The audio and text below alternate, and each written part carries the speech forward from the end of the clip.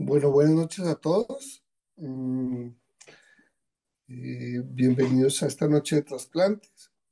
Hoy vamos a hablar de adherencia a la medicación y digitalización en los programas de trasplante. Nos acompaña en vivo la doctora Astrid Hernández Sierra desde Barcelona.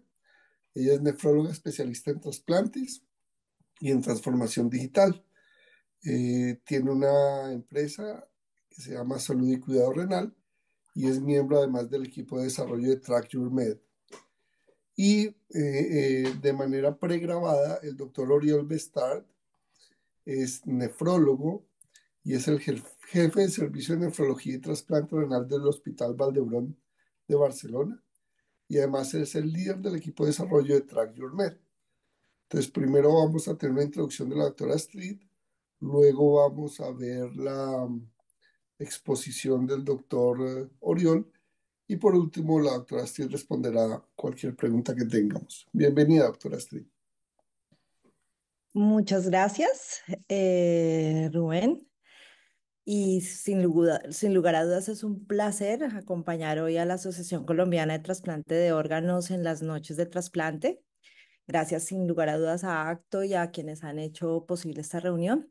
Como nefróloga eh, que me he dedicado a, trasplantes muchos años y actualmente con una formación en transformación digital en salud, tengo la oportunidad de compartirles algunos aspectos sobre la digitalización en salud.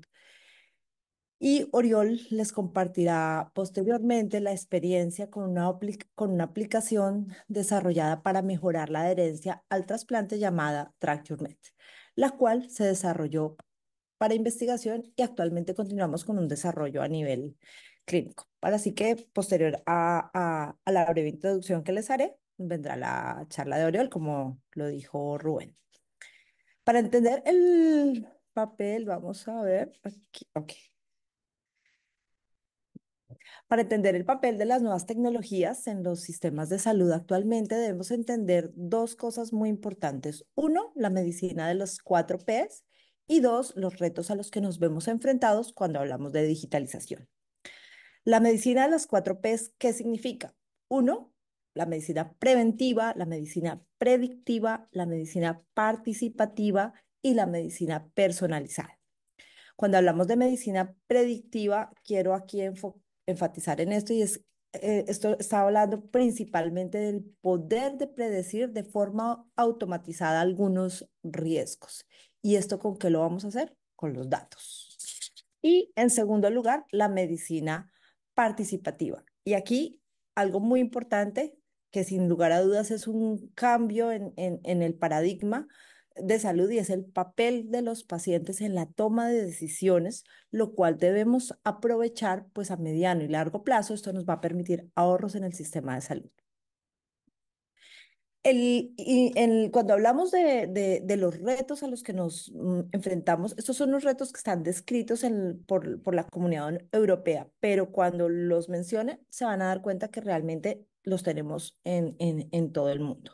Estos retos a los que estamos enfrentados cuando hablamos de digitalización es el crecimiento demográfico, el aumento de la presión sobre los sistemas sanitarios, tanto aquí como allí, cambios en el estilo de vida y las expectativas de los pacientes, la crisis económica y social, que esto es algo mundial, y sin lugar a dudas, el impulso de la digitalización, que requiere que se invierta en inclusión y en confianza digital, lo cual es un, es un tema eh, importante. ¿Cuáles son actualmente las tendencias en el sector salud? Muy importante, pues una medicina personalizada e integral. Esto ya es algo que, que, que de lo que hablamos en muchísimos campos. La nutrición personalizada, la asistencia sanitaria y los hospitales inteligentes, que es algo que hoy eh, cada vez más se viene, y los dispositivos móviles.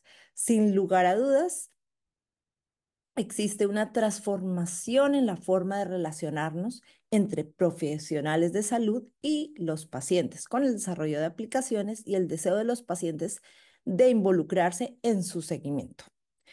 Como otra tendencia de salud, sin lugar a dudas, las tecnologías domiciliarias eh, seguras, todos los, dispositivos eh, que usan los pacientes para mirar el electrocardiograma, la tensión, etcétera, la robótica asistencial, las terapias y procesos basados en datos. Aquí con respecto a los datos, resaltar algo muy, muy, muy importante y es que los datos ya desde el 2006 nos describían que son, es, eh, el, lo, lo, describió el científico Cliff Humby, decía, los datos son el nuevo petróleo, pero sin lugar a dudas hay algo que tenemos que tener en cuenta y es que son el nuevo petróleo, son valiosos, pero necesitan estar refinados.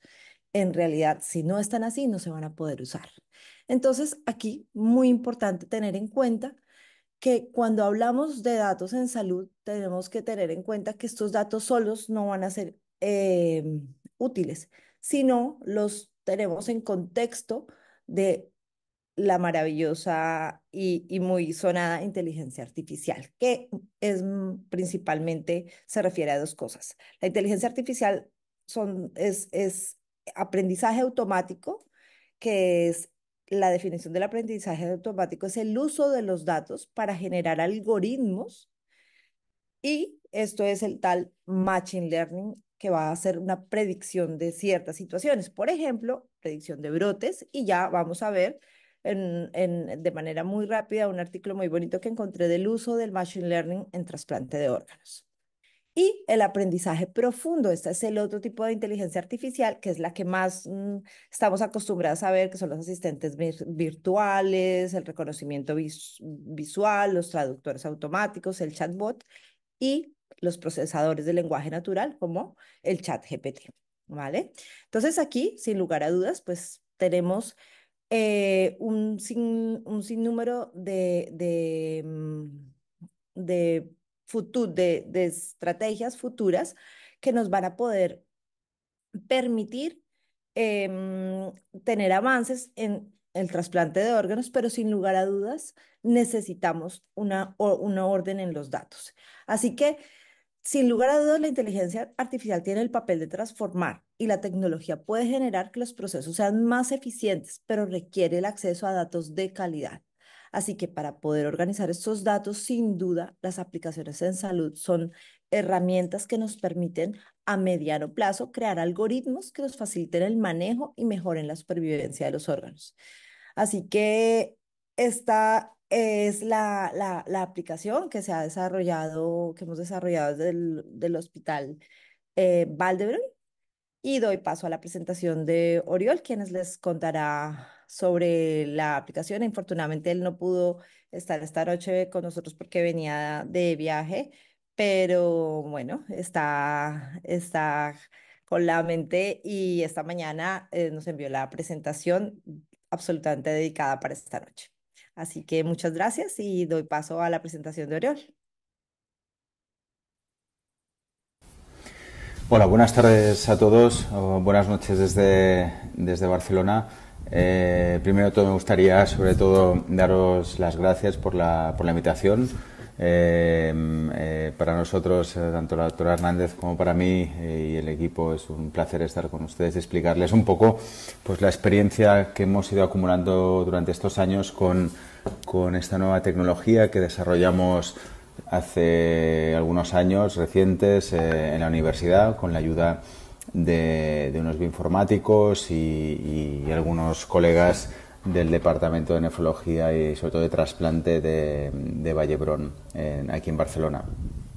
Como ven, el título de la charla es, es cómo implementar o experiencia con la implementación de una nueva tecnología digital eh, móvil que la hemos llamado Track Your Med, eh, en inglés de alguna manera sigue tu medicación o, seguimiento de la, medicación crónica. ¿no? Eh, todo esto eh, y entro un poco en, detalle ¿no?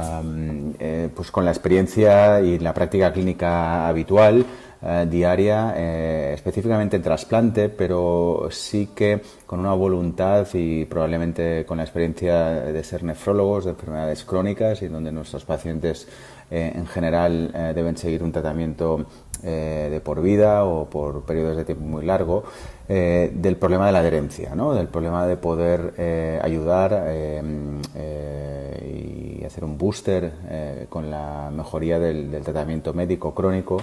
Y estos son ejemplos ¿no? de, lo que hemos aprendido muy recientemente, ¿no? desde un, punto de vista cuantitativo, ¿no? y cómo es em, que la falta de, o pobre adherencia al tratamiento sistemático, ¿no? en este caso de inmunosupresión en la izquierda, hemos eh, podido aprender que es una de las causas principales del desarrollo del rechazo crónico, ¿no? Eh, inmunomediado como causa principal de pérdida de injerto. ¿no? Es decir, no que no tengamos en parte buenos tratamientos, sino que eh, sí que podemos tener buenos tratamientos, parece, pero que la mala compliance ¿no? puede llevar a la activación de la respuesta inmune. ¿no? Y luego, otro concepto importante, ¿no? que es la, la, variabilidad intraindividual ¿no? de, la dosificación, de, sobre todo de, los anticalcinos neurínicos, ¿no? la intrapatient variability, em, como también se ha asociado de forma clara a una peor supervivencia del injerto, ¿no? es decir, tomas erráticas de forma sistemática, eh, de alguna manera se infieren que se produce pues, una probable eh, activación de la respuesta inmune ¿no? a, medio plazo, largo plazo y por tanto a rechazo del injerto. ¿no? Por tanto, tenemos cada vez más datos ¿no? Eh, que, aunque muchas veces los hemos, lo hemos ido sospechando en nuestra práctica clínica, en la, diaria en la consulta, sí que parece que a base de forma muy rudimentaria de cuestionarios, básicamente, podemos detectar y cuantificar el problema de una baja adherencia al tratamiento crónico. Y esto no solo ocurre en trasplante, como todos podrán saber, ¿no? Si esto ocurre en medicina en general y en patologías, como decía, que requieren de un tratamiento diario, ¿no? Un tratamiento muy dedicado, continuo y como ven aquí no hay mucha literatura científica que eh, muestra el problema de la adherencia para mejorar el rendimiento o los outcomes en diferentes enfermedades ¿no? HIV en hipertensión arterial en, en, en coronario etcétera etcétera y esto repercute, ¿no? Repercute a nivel sanitario, ¿no? Ah, también hay datos, aunque relativamente rudos y difíciles de calcular, ¿no? Como eh, esta falta o esta pobre adherencia, pues sí que impacta en aumento del coste sanitario global, ¿no? Y sobre todo en una mayor hospitalización y costes asociados, ¿no? Por tanto, eh, eh, no tan solo a nivel individual, sino a, nivel más global, eh, la pobre adherencia al tratamiento en patologías únicas es un problema a nivel sanitario ¿no? más global. Y, esto por qué se produce, ¿no? Y entonces es importante conocer ¿no? las causas de, o los tipos de, pobre o de mala adherencia a tratamientos crónicos. Y uno es aquel que de forma voluntaria pues quiere dejar de tomar la, medicación, ¿no? Es decir, no cree eh, en que esa medicación sea eficaz mm, por motivos que sean, ¿no? Y esto es muy difícil eh, eh, de poder solventar, ¿no? Es decir, hay pacientes que realmente tienen una perspectiva diferente y no quieren de alguna manera no aceptan ese tipo de tratamiento. Esto es una proporción muy pequeña, ¿no? De, pacientes pobre adherentes erráticos o malos, ¿no? Y luego hay los llamados parciales o no voluntarios, ¿no? Y estos sí que probablemente son potencialmente solventables, donde podemos de alguna manera ah, interferir, ayudar y potenciar que esta falta de, seguimiento eh, sea, eh, mucho mejor. Y esto se debe fundamentalmente pues, a la polifarmacia que utilizamos, ¿no? nuestros pacientes Necesitan múltiples tratamientos que muchas veces es muy difícil de acordarse o simplemente seguir de forma em, em, correcta. Y luego porque lo que pretendemos en este caso, por ejemplo, en el trasplante o en otras enfermedades, que es que el paciente se encuentre bien, es decir, no se siente enfermo y pueda volver a reincorporarse a su vida natural, a su vida previa, hace que eh, el hecho de tomar medicación, sintiéndose uno sano, no sintiéndose enfermo, esto reduce, minimiza eh, la alerta del paciente a tomar esa medicación y por tanto eh, se producen faltas de tomas de medicación. Y por tanto aquí es donde nosotros siempre, o de ahí surgió la idea de desarrollar alguna ayuda para este, sobre todo, pool de pacientes, que creemos que es la gran mayoría, en la que quizá con herramientas nuevas pudiéramos de alguna manera beneficiarlos y ayudarlos. Y ahí interviene, obviamente, como todos sabrán, la, la M-Health. Eh, tecnología digital eh, y sobre todo eh, a través de lo que serían las aplicaciones móviles. De alguna manera, estos son tecnologías que prácticamente todo el mundo utiliza actualmente. No hay barreras de edad, gente de poca edad y gente de mucha mayor edad tienen móviles inteligentes y por tanto eh, podemos de alguna manera eh, utilizar, más allá de la utilización clásica del teléfono, del mensaje, pues el poder utilizar esta herramienta como medida de ayuda para potenciar la, adherencia al tratamiento. ¿no? Y, esto nosotros lo pensamos desde un punto de vista más global, ¿no? en el que queríamos de alguna manera pensar que esta ah, tecnología debía de funcionar siempre con la connivencia del equipo médico, es decir, que tuviese un report ah, a, nivel nuestro, a nivel de los profesionales eh, sanitarios que nos dedicamos a estas enfermedades, enfermería, eh, especialistas, en el que pudiéramos tener una información, pero que diera un feedback directo a, los pacientes, es decir, que ellos tuviesen este beneficio, pero que nosotros de alguna manera nos viéramos enriquecidos con esta información y el paciente se diera cuenta de ello y, por tanto, finalmente potenciáramos el uso de esta ah, tecnología y fuera, por tanto, un beneficio bidireccional. ¿no? Y esto era un poco el, el racional de, de forma simplista, ¿no? de cómo entendemos nosotros que probablemente estas tecnologías deberían funcionar y, y el por qué Hoy en día creemos que la cantidad de aplicaciones para ayudar a la mejoría de la adherencia no funciona o se olvidan y es porque forman parte de un triángulo ¿no? en que el paciente, el médico y unas tecnologías que el paciente utiliza o se descarga de la web o donde sea y lo utiliza por sí solo. ¿no? Y nosotros lo que creíamos es que eh, el, equipo médico debería estar directamente vinculado a este proceso ¿no? y por tanto formar parte de este triángulo, es decir, que eh, nosotros fuéramos los prescribidores de esta tecnología, es decir, que no fueran ellos solos que eh, llegan a tener el mismo problema que con la medicación, sino que la pobre adherencia a la medicación se suma a la pobre adherencia a la tecnología, a la, a la aplicación concreta. ¿no? en cambio, si esta aplicación formara parte de este círculo, de este triángulo en el que nosotros también podemos obtener una información valuosa en el día a día ah, y darle el feedback al paciente, probablemente esto cambiaría eh, de alguna manera en muchos pacientes eh, la sensación de utilidad de estas tecnologías. Y esto fue un poco el punto de partida de, del proyecto que iniciamos en 2017 y que eh, hemos estado o que estamos uh, utilizando y trabajando en la actualidad. ¿no?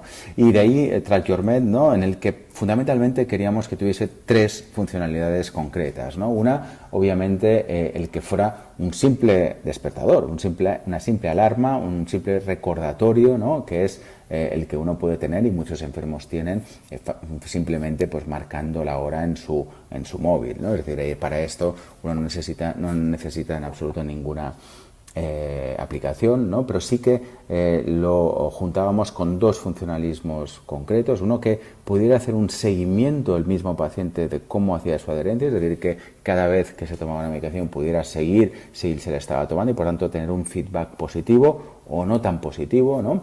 Y el segundo, el segundo, el tercero, perdón, es el awareness, ¿no? Es el darse cuenta de si se han tomado la medicación. Y este es un punto que aprendimos o que hemos aprendido a lo largo de estos años, ¿no? Que los pacientes más valoran ah, a la hora de seguir utilizando esta aplicación. Es decir, en cualquier momento del día poderse dar cuenta si se han tomado la medicación o no. Que aunque parezca eh, mentira, eh, es uno de los grandes problemas que tienen ellos. Es decir, eh, uno les prescribe a, pues a cierta hora el tratamiento ¿no? y ellos vuelven a hacer su vida normal y se olvidan y no se acuerdan si se han tomado o no se, han tomado la medicación. Por tanto, este tercer punto era crucial para nosotros para englobar este triángulo les muestro aquí. ¿no? ¿Y cómo funciona entonces nuestra tecnología? Pues de forma muy simple, tenemos una forma híbrida, como comentaba, en el proceso de uso, ¿no? es decir, que nosotros tenemos un back office eh, en el que podemos recibir toda esta información a tiempo real y por tanto tenemos eh, una web eh, en el que damos de alta al paciente, el paciente no se puede bajar la aplicación solo, es decir, somos nosotros que le damos acceso y a partir de ahí ya empieza este continuum entre el paciente y el equipo médico, ¿no? O sea, el equipo de enfermería o el equipo eh, médico da de alta al paciente y nosotros ya entramos en el, en, el tándem ah, y en el feedback ah, continuo, ¿no? Y por parte de los pacientes, pues disponen de una aplicación muy smart, eh, inteligente y también muy friendly, es decir, muy visual, ¿no? En el que, como decía, tienen estas funcionalidades, una, el recordatorio a la hora que nosotros le marcamos eh, la hora que nos conviene, por el motivo que sea, por el tipo de medicina, por el tipo de medicación. Tenemos está linkado al Bademecum, por tanto tenemos actualizada toda la farmacopea de cada país. Eh, cada semana se va actualizando según las novedades que surgen del Ministerio de, Ministerio de Sanidad. Por tanto, damos de alta exactamente con el tipo de medicina y eh, las dosis, etcétera, etcétera. Entonces, como ven ustedes aquí, el, puede ver las medicinas que eh, le, hemos eh, pautado y lo más importante que les comentaba, el awareness, es cada vez que ellos se toman la medicación, simplemente clican ahí y se convierte de rojo en verde, es decir, ellos se dan cuenta y pueden saber a lo largo de todo el día que efectivamente se han tomado la medicación porque la marca del medicamento, como ven aquí en medio, se ha convertido en verde. Si no lo hubieran hecho, estaría de color rojo. ¿no? Y finalmente, y a la derecha, ellos pueden ver a cada día, durante días previos, eh, semanas previas o meses previos, cómo lo han ido haciendo, ¿no? Y por tanto pueden de alguna manera tener un feedback positivo y, reforzarse positivamente o negativamente en ese sentido para mejorar eh, la adherencia al tratamiento. Y esta misma información la recibimos nosotros, ¿no? Y de hecho la compartimos con ellos y esto es lo que nos hace, creemos eh, que esto sea eh, el potencial de esa tecnología, es decir, que el enfermo se dé cuenta de que es un valor también para nosotros para entender cómo funciona la enfermedad, ¿no? Y aquí tienen ejemplos, por ejemplo, de dos pacientes, ¿no?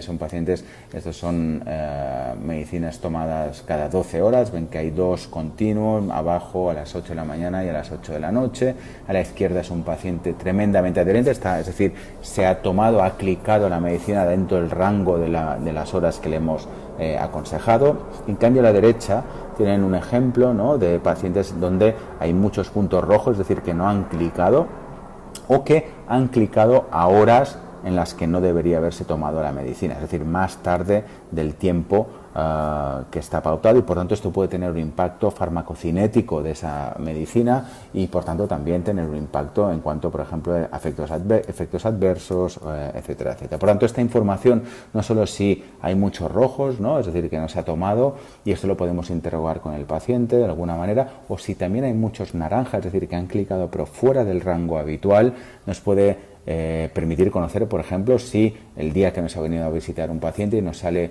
que eh, el análisis con unos niveles demasiado altos, por ejemplo, de tacrolimus, podemos ver si, por ejemplo, las últimas tomas de esta medicina han sido demasiado tarde, por lo tanto, no ha habido un respeto del horario en el que farmacocinéticamente sabemos que el C0 eh, será el punto adecuado. ¿no? Y por tanto, eh, nos da una información cualitativa y no solo cuantitativa en este sentido. ¿no? Y finalmente, y obviamente, también queríamos un poco desarrollar una tecnología que nos pudiera dar una base de datos ¿no? y que pudiéramos explotar eh, pues, eh, la adherencia ¿no? a familias de medicamentos, a grupos de pacientes, es decir, esta información que tenemos ahí, que el paciente ha ido implementando, nosotros con su permiso, eh, siempre, es decir, el paciente cuando se da de alta tiene que aceptar si quiere utilizar y está siguiendo de forma a rajatabla lo que rige la propiedad de datos, eh, en, este caso en la Comunidad Europea, eh, y eh, también firma o acepta el querer dar sus datos para poder posible información y para investigación para el médico o el equipo médico concreto. Hemos desarrollado otras, otras funcionalidades que le hemos ido refinando, uh, que hemos ido refinando la tecnología y que nos ha dado, creo, frutos muy importantes y que nos han ido pidiendo los pacientes y que éramos un poco reluctan al, principio, que es, por ejemplo, un chat. ¿no? Y, la verdad es que eh, hemos dado con, eh, con el mensaje, de alguna manera, de que teníamos el miedo de que fuese esto una avalancha de, mensajes por parte de los pacientes, ¿no? a la que uno le da un canal de información, pues no, tenemos suficiente personal para poder em, recibir cuestiones cada dos por tres, ¿no? Pero sí que eh, haciendo una buena educación al paciente, diciéndole, oiga, esto no es un mensaje, no es un chat, esto no es un, un, WhatsApp, un mensaje directo a, tu paciente, a, su médico, a su equipo médico, pero sí que le puede servir para informarle o darle a conocer eh, cosas puntuales, no de gravedad, eh, pues sí que son cosas de utilidad, ¿no? Pues por ejemplo, actualizaciones de recetas, cambios en las agendas de las visitas en el hospital de día o en las consultas externas. Por tanto, toda una serie de información que no es urgente, pero sí que resuelve y que frena muchas llamadas al hospital y esto ahora lo estamos analizando eh, y, lo estamos escribiendo, el hecho de el poder tener un chat con una buena educación al paciente. Siempre hay algunos pacientes que exceden de alguna manera el, su uso, pues sí que hemos visto que eh, su utilidad eh, es óptima en el sentido de que reduce de, de forma muy clara llamadas telefónicas pueden ser resueltas de forma fácil a través de este, de este chat. ¿no? Nos pueden mandar también fotografías ¿no? de si han salido lesiones cutáneas, eh, si han ido de viaje y se han hecho un análisis, nos lo pueden mandar por ahí. Nosotros también les podemos mandar información en formato PDF, etcétera, etcétera. ¿no? Y luego también hemos añadido em, eh, dos funcionalidades más y nosotros como nefrólogos estados muy interesantes, que es la medida de diferentes eh, medidas hemodinámicas, ¿no? sobre todo la, tensión arterial eh, y la glucosa en pacientes diabéticos. ¿no? Y, aquí les enseño simplemente un ejemplo ¿no? de una paciente en el que fue derivada eh, a nuestra consulta. En este caso no es una paciente trasplantada, pero sí que venía con un cierto ah, tratamiento abundante, pero no tenían un control de la tensión y como ven ellos son capaces de poner las tensiones que se miden, el AMPA que se miden, también se puede conectar Em, eventualmente a través de relojes em, inteligentes, ¿no? Pero entonces esto, lo mismo que con la adherencia, esto queda registrado tanto para ellos en su aplicación como nosotros en nuestra página web, en nuestra web, en nuestro back office, exactamente cómo va funcionando, en este caso, cómo va evolucionando la monitorización. ¿no? Y esto es muy interesante ver ¿no? cómo a tiempo real pues el ajuste que se hizo inicialmente eh, a este paciente pues relativamente fue óptimo, sobre todo a nivel de la presión sistólica, pero tenía todavía unos, unos, valores de presión diastólica, como ven en rojo, abajo, eh, por encima de lo ah, aceptable. Se hizo un segundo ajuste de tratamiento y, como ven, pudimos ver cómo mejorábamos de forma muy significativa la tensión. ¿no? Y esto es una manera un poco de impedir o evitar eh, visitas eh, absurdas ¿no? y, conocer de forma directa pues, el, el efecto farmacodinámico ¿no? del tratamiento que hemos hecho en este sentido. ¿no? Y luego lo mismo con, con los eh, valores de, de, glucosa ¿no? y tratamiento con insulina. Aquí les enseño también cómo se ve en la web. ¿no? Lo mismo, los registros de glucosa que ellos mismos introducen en la aplicación, es muy fácil y va ligado también a las dosis de insulina que utilizan abajo, como ven aquí, ¿no? Y simplemente enseñarles, ¿no? Como los puntos rojos es un paciente trasplantado que desgraciadamente desarrolló diabetes post-trasplante en el contexto de tratamiento eh, corticoideo y, tacrolimus y como ven aquí se fue de alta con insulina, nunca había recibido insulina, ¿no? Y como ven abajo eh, en gris eh, pues son las dosis de insulina que necesitaba este paciente y cómo a medida que fue mejorando la función renal, como fue mejorando de alguna manera o reduciendo, se fueron reduciendo las dosis de los inmunosupresores eh, y se pudo introducir eh, los antidiabéticos orales, vemos cómo hay una reducción y una mejoría, un control de la glucosa y nosotros eh, esto lo podíamos monitorizar de forma tremendamente em, cercana, ¿no? es decir, ver cómo podemos reducir las dosis de insulina, ¿no? introducir nuevos tratamientos, en este caso antibióticos orales, y ver que realmente el efecto es correcto y podemos estar tranquilos. ¿no? Por tanto, estos son un poco los tres parámetros que hemos añadido más allá de la adherencia porque nos pareció que podían ser o enriquecer mucho la, aplicación. ¿no? Y esto, de alguna manera, eh, ¿qué utilidad tiene? ¿no? Pues lo quisimos probar en un estudio, en un trial eh, piloto eh, prospectivo, no randomizado, descriptivo fundamentalmente, que publicamos hace un par de años y en el que colaboramos, fue multicéntrico, colaboramos tres hospitales aquí en Barcelona en pacientes trasplantados de órgano sólido, porque de hecho también participaron trasplantes o pacientes trasplantados de hígado y sobre todo fundamentalmente de riñón. ¿no? ¿Cómo, cómo era Uh, ¿En qué consistía este estudio? Como ven aquí el flowchart del, trial, eh, lo que se hizo fue proponerles a, pacientes eh, el aplicativo, eh, obviamente de forma gratuita, durante seis meses. Ellos ah, sabían o les explicábamos cómo funcionaba y nosotros en este caso no podíamos ver eh, cómo eran eh, los resultados de lo que ellos iban implementando en la aplicación, ¿no? porque queríamos ver de alguna manera y aprender si los cambios de medicación eh, tenían algún tipo de relación ¿no? con lo que veíamos en cuanto a la adherencia de los pacientes. Pero a los seis meses, como ven aquí, en la fase 2, ¿no? lo que sí que, mm, que, se, mm, que, se, hizo fue proponerles a los pacientes que el estudio se había acabado, pero que si querían eh, podían estar libremente y seguir utilizando la aplicación. Y eso lo queríamos saber un poco para ver qué grado de penetración podía tener esta aplicación, ¿no? porque uno a un paciente, como ustedes saben, ¿no? si, se les propone un estudio, casi siempre em, aceptan eh, de buen grado, ¿no? y más si es una cosa gratuita, pero lo que queríamos saber es si después de seis meses aquello había sido muy engorroso, ¿no? es decir, si no les había supuesto ninguna mejoría en su manejo diario, ¿no? o si por lo contrario podía haber sido de utilidad y veíamos que una proporción importante podía seguir. ¿no? Eh, entonces, esto fue un poco, el, estos son los resultados un poco resumidos, ¿no? Y lo que vimos es que de forma interesante, durante aquellos seis meses, el 70% de pacientes fueron regular users, ¿no? Es decir, que lo fueron utilizando de forma eh, sistemática y correcta, ¿no? Es decir, no dejaron la, medicación, la aplicación en ningún, ningún momento, ¿no?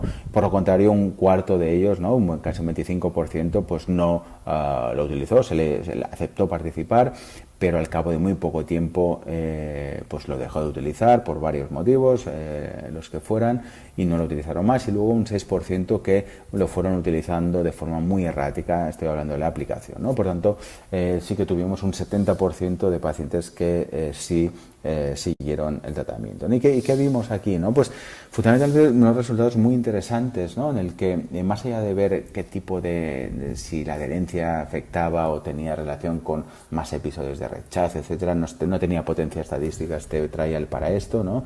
Eh, pero sí que lo, queríamos ver, lo que queríamos ver es la relación entre los momentos de toma de medicación según la aplicación y los niveles de inmunosupresión, por ejemplo, y como pueden ver aquí, lo que sí que vimos es que eh, a 12 meses de seguimiento, eh, los pacientes que tomaban fuera de tiempo la medicación, es aquellos naranjas que le enseñaba en más de un 20%, durante las seis, ah, seis, días, previos al análisis, tenían una mayor intrapatient variability, una, una variabilidad mayor de niveles de tacrolimus versus aquellos pacientes que tenían muy poca ah, tomas de medicinas fuera de, ese rango ah, que les habíamos aconsejado. Por tanto, sí que había una, variabilidad intra eh, individual eh, en ese sentido. Y luego a la derecha lo que sí que vimos de forma muy interesante es que esto producía que a estos pacientes que eh, se tomaban las tomas fuera de horario correcto, nosotros habíamos modificado mucho más las dosis de los medicamentos. Es decir, que de, alguna forma y de forma errónea, sin saberlo, porque como digo era blinded, nosotros no podíamos ver eh, pues lo que había ocurrido con, con, cómo habían seguido su adherencia hasta el final. ¿no?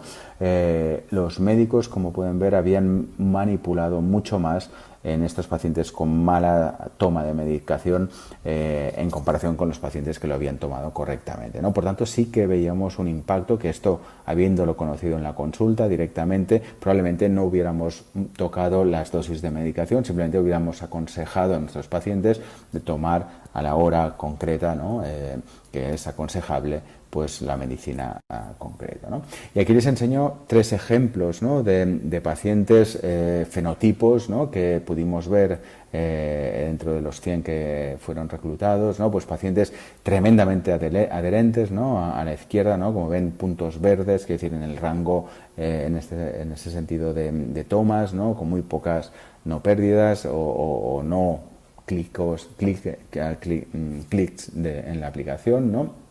Pacientes con una relativamente pobre adherencia, eh, pero sí que vimos que, por ejemplo, era muy eh, frecuente, y, esto lo vimos, por ejemplo, en las tomas de, medicaciones de que se toman cada 12 horas, mucho peores por la tarde, ¿no? Y como ven aquí, en los rojos, ¿no? En medio, en el paciente de en medio, hay muchas más, menos clics en la tarde, ¿no? Es decir, a priori que no se han tomado la medicación que por la mañana. ¿no? Esto sugiere que esto realmente es así, ¿no? porque como pueden ver que realmente son pacientes, son pacientes que hay mucho verde, es decir, que utilizan la aplicación. ¿no? Entonces cuando aparece en el rojo uno tiene que sospechar que probablemente es así, que no se la ha tomado realmente. ¿no?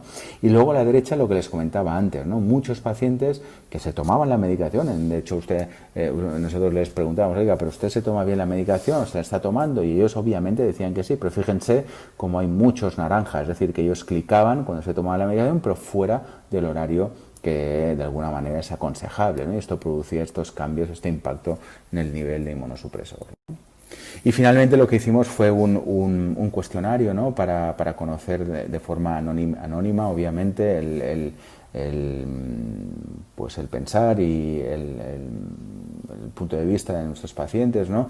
Y como pueden ver aquí, pues fueron muy, muy positivas, ¿no? De los pacientes que siguieron, ¿no? Es decir, el 82% consideraba que les había, uh, que este aplicativo les había de alguna manera mejorado eh, el poder seguir eh, eh, su medicación de forma mejor ¿no? que lo que hacían antes, que el 74% querían seguir la utilización de, esta, de este aplicativo, el 88%, casi un 90% lo recomendaría a otros pacientes, es decir, que le veían su utilidad ¿no? y que lo aconsejarían a, pacientes que, que, tomaran el mismo tipo de tratamiento y frecuencia, que había mejorado la comunicación con el equipo médico, curiosamente, ¿no? Es decir, que em, uno tiene la sensación que hace lo mejor que puede siempre en las consultas, ¿no? Pero este tipo de engagement. Con el paciente que probablemente no hacíamos antes. Y sobre todo fuera de horas o que ellos son conocedores eh, de alguna manera de, cómo lo hacen también en su día a día, les em, de alguna manera les sugería que tenía como, tenían como un mejor seguimiento eh, eh, médico en este sentido. Casi el 100%, como, como ven aquí abajo, ¿no? consideraba que ah, les gusta este uso ¿no? para la comunicación con el equipo médico y, y que el 76% Ah, de ellos consideraba que realmente el, uso lo habían hecho correctamente el aplicativo, no de la medicina, es decir, que la aplicación la utilizaban realmente cuando se tomaban la medicación. ¿no? Por tanto, eh, bueno, una experiencia muy, muy grata y esto lo hemos, eh, a partir de ahí, pues lo que hicimos fue em, mejorar el aplicativo, hacer una tecnología segura, es decir, que ya no fuera para un, para un estudio piloto, ¿no? sino para nuestro día a día. Lo hemos implementado eh, en nuestro hospital, así como en otros hospitales, y también lo hemos utilizado como una herramienta de investigación, ¿no? es decir, en estudios que nos dedicamos más quizá de, investigación, de investigación con biomarcadores, nuevos biomarcadores de, riesgo de rechazo, etcétera, uno eh, también eh, lo puede utilizar pues para averiguar si el biomarcador dice la verdad o no o si es por culpa de que hay una mala adherencia, ¿no? Y por tanto, eh, como bueno aquí, ven, aquí tenemos un un estudio en marcha eh, europeo en el que hemos implementado también el uso del aplicativo en, el contexto de un estudio ah, de biomarcadores. ¿no? Y, bueno, actualmente lo que estamos haciendo es, implementarlo. Em, se ha implementado en diferentes hospitales. Nosotros em, estamos utilizando, aparte de, como decía, eh, de estudios eh, de investigación, también en, nuestro día a día. Es decir, todos los pacientes que se van de alta de trasplante les damos la oportunidad de poder utilizar Em, el aplicativo, em, así como otros hospitales eh, eh, aquí en España y en algunos europeos también y fundamentalmente en el contexto de algunos estudios con biomarcadores, etcétera, etcétera. Y hasta aquí mi charla. Eh, darles las gracias por su atención. es un placer. Me sabe mal no haber podido estar con ustedes. justo me, coge estando de viaje. Y, pero les dejo con la doctora Hernández que seguro que les podrá resolver las preguntas que tengan y encantados de responderles vía email o lo que sea. Muchísimas gracias por la invitación y hasta pronto.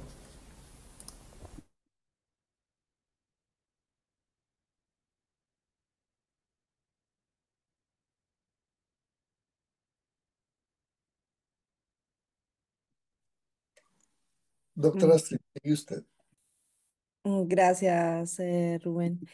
Em, quería compartir un momento aquí, unas la, unas últimas diapositivas. Bueno, como, como, como pueden ver, em, a ver, perdón, un segundito. Creo que aquí, aquí se ve. Bueno, pues como pueden ver, eh, Oriol ah, desarrolló eh, esta aplicación con el doctor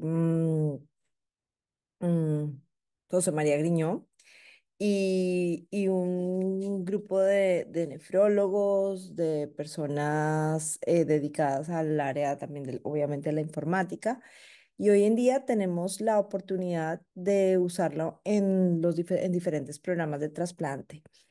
Eh, sin embargo, eh, tenemos la, la, la, inquietud que se ha utilizado siempre a nivel mm, de investigación y a, a su vez se está utilizando a nivel clínica y, y uno escucha a los pacientes con un feedback muy positivo eh, les gusta sentir que su médico pone unos medicamentos y que adicionalmente el paciente se los toma y, y tienen el feedback de que cuando van a la consulta les dice, muy bien, usted se los está tomando adecuadamente y adicionalmente los niveles de los medicamentos se ajustan un poco a lo que uno observa en la, en la aplicación. Así que sin lugar de dudas es una herramienta importantísima mm, y como les decía, eh, creo que es el primer paso para eh, poder en algún momento utilizar todos esos datos eh, y, y, poderlos poner al servicio de poder automatizar muchos procesos en los programas de trasplante, lo cual va a mejorar, a agilizar los procesos y al mismo tiempo va a favorecer, obviamente, la supervivencia de, los injertos.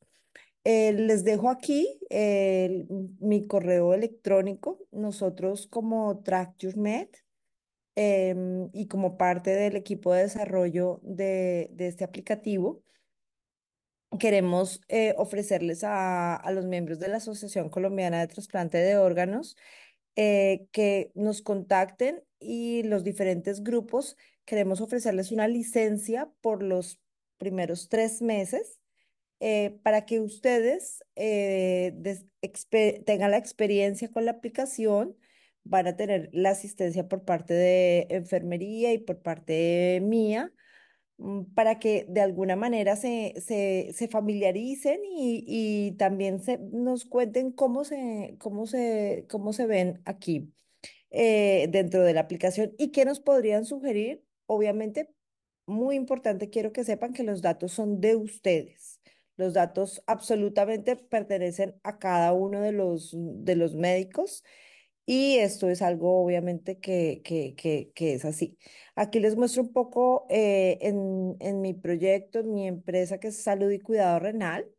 Yo aquí tengo un grupo de pacientes, el equipo médico, cada, cada, mm, eh, mm, cada, cada programa de trasplantes puede dar de alta a los nefrólogos o a los médicos que tengan, los pacientes y los medicamentos. Aquí son los puntos que efectivamente nosotros eh, revisamos eh, con cada paciente. Esto es un ejemplo aquí que hice obviamente de, un paciente que no tiene apenas eh, datos. Aquí muestro cómo creamos un paciente. Entonces, en el momento que el paciente entra a la consulta, eh, normalmente eh, en este momento cada hospital lo hace de una manera distinta. Mm, en mi caso yo lo creo para cada paciente, Oriol también lo hace, en algunos lo crea la enfermera. Ponen los datos del paciente, se pone un correo electrónico y, y, un teléfono y es muy sencillo. Tenemos la facilidad del idioma porque pues estamos funcionando en otros, en otros países. Mm, aquí está un ejemplo de los datos que se incluyeron de un paciente y aquí cuando ponemos la medicación. Entonces nosotros aquí, el, el aplicativo está unido a Bademecum eh, España y tenemos en este momento eh, para entrar a Colombia, ofrecemos que nos vamos a unir con Bademecum España, lo cual, eh, perdón, Colombia, lo cual va a ser muy, muy útil porque el aplicativo también tiene algo muy interesante y es que cuando, además de que les ponemos los medicamentos a los pacientes, al paciente, el paciente le va a aparecer algo muy interesante, y es que a, el paciente cuando abre la aplicación va a ver los medicamentos que yo le puse que tomara, pero adicionalmente él, si presiona aquí en el cuadrito con las montañitas, le va a aparecer el- la figura del medicamento. Y como muchos nos pasa que los pacientes me dicen, me tomo la pastillita cuadradita,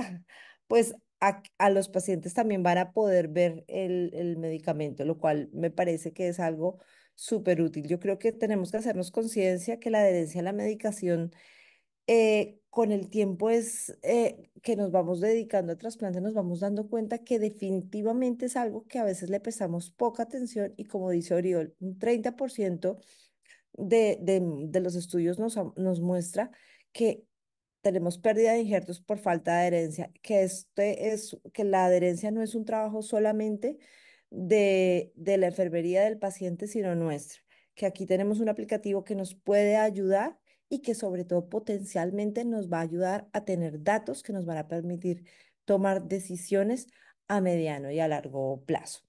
Así que bueno, nada, nada más. Eh, gracias a ustedes pues por, por, eh, por estar.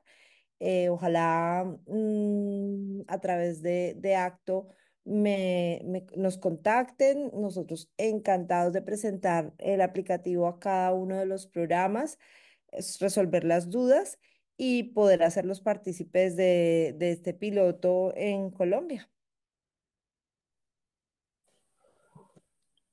Muchas gracias, doctora Astrid. Creo que no hay preguntas porque es que fue muy claro y ya con lo que conocemos de tecnología y el uso de la tecnología eh, a nivel personal, pues es muy, muy fácil entender hacia dónde va. Creo que es clave cualquier método, cualquier herramienta que tengamos a la mano para que el paciente eh, sea aún más adherente eh, a los programas y, al- y a su manejo post-trasplante. Entonces, solo agradecerle. Nick, creo que no hay preguntas. Entonces, muchísimas gracias, doctora Hernández, y la estaremos contactando. Vale, muchísimas gracias, Rubén, y gracias al equipo por mm, el apoyo para la presentación. Buenas noches a Feliz todos.